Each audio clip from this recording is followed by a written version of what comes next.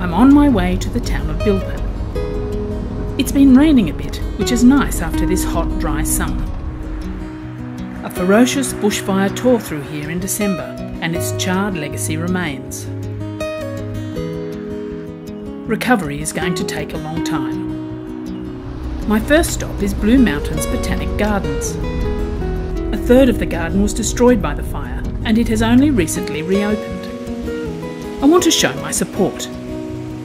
And I'll start with the Potager restaurant for breakfast.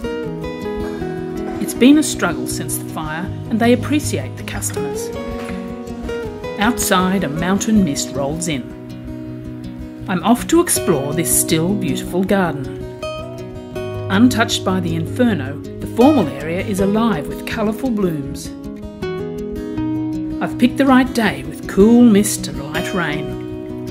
As I wander the paths, I ponder how much worse things could have been. But it's as beautiful and tranquil as ever.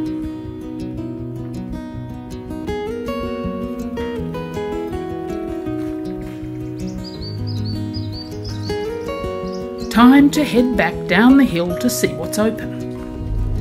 I call in to the hive at Berambing for a cuppa. They've got an array of produce and I buy some local honey to take home. Good coffee too. Next it's Bilpin Cider Co.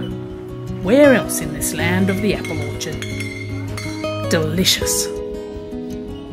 Then finally it's off to a local institution, Bilpin Fruit Bowl.